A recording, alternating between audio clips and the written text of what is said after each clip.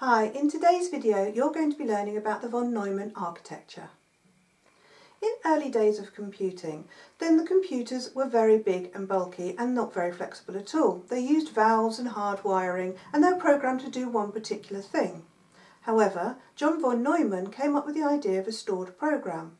He was a Hungarian scientist and decided that a computer program could be stored separately from the actual hardware. What that meant was computers could be reprogrammed very easily and this made them a lot more flexible and saved a lot of time and money when it came to changing what you wanted the program to do. All programs have the same basic structure. They have an input, some sort of process and an output. Now the input could come from a keyboard or a microphone or even a scanner. The output might be something like a monitor, a printer or even a speaker. Whatever they are, then there will be some sort of input and some sort of output. But what we're interested in was what happens in the middle, in the process section. In a previous video, we looked at the CPU, or Central Processing Unit. So let's remind ourselves of how that works with memory. There are three types of memory you need to be aware of. Cache, RAM and secondary storage. Cache is the smallest amount of memory and this is usually found on the CPU chip or right next to it, and it is closest to the CPU, so therefore the data doesn't have so far to travel. It also uses very powerful technology, but this is quite expensive, so it can only hold very small amounts of data.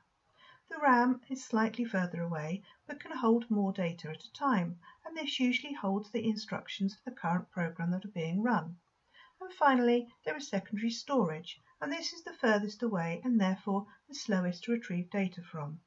The CPU will first of all check to see if the instructions are in cache before requesting them from RAM and finally secondary storage, so it's always looking to see if it can save time. Let's expand on this a little more. Inside the CPU are registers. Registers are small high-speed memory within the processor that the CPU stores and changes values so it can execute the instructions. There is also the arithmetic logic unit, or the ALU, that carries out calculations and makes decisions based on the data that's sent to the processor.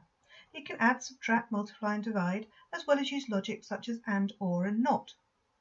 There is also the control unit, or the CU. This controls how data moves around the processor and also controls the timing of operations and the instructions sent to the processor and the input and output devices. There are several registers you need to be aware of. First, there's the Memory Address Register, or the MAR, which stores the memory location of the data that needs to be accessed.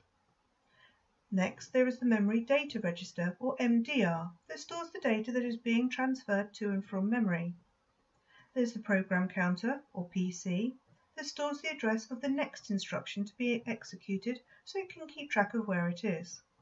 And finally, there's the Accumulator, or AC, that stores the result from any calculations that are performed.